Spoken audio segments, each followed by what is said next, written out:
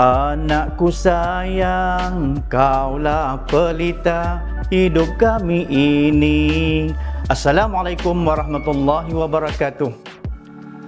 Alhamdulillah kali kali ini kita dengan segmen uh, kenali uh, nabi-nabi kita. Uh. Dan pada kali ini kita mengimbau kisah Nabi Ishaq alaihissalam. Nak tahu bagaimana cerita kisah Nabi Ishaq alaihissalam? Begini ceritanya. Uh. Nabi Ibrahim alaihissalam didatangi oleh beberapa orang tetamu untuk menghabarkan berita yang menggembirakan.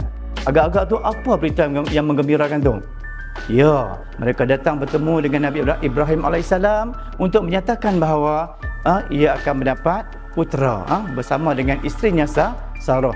Alangkah terkejutnya Sarah bila tahu dia akan melahirkan anak. Sebab pada ketika itu Sarah berumur 90 tahun.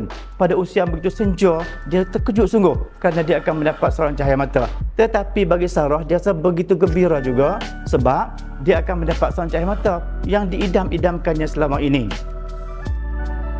Dan untuk pengetahuan semua, Nabi Ismail AS telah lahir 14 tahun selepas ha, ha, selepas tu maka baru lahirnya Nabi Ishaq AS Ishaq ni dari bahasa Ibrani yang bermaksud ha, yang tersenyum, ha, yang tertawa ha.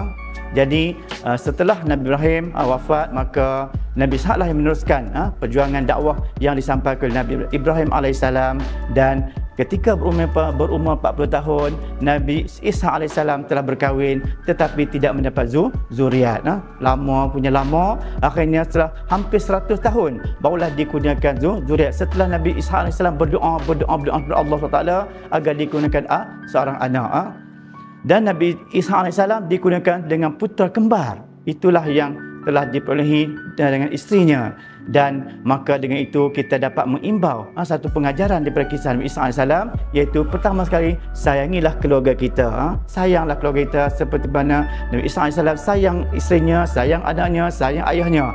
Dan juga ha, sentiasa sabar dalam menghadapi ujian yang ha, begitu hebat ha, semasa kita berada di di dunia ini. Ha, sekian untuk kali ini. Semoga kita berjumpa lagi di masa dan lain masa lain ketika. Sekian. Assalamualaikum warahmatullahi wabarakatuh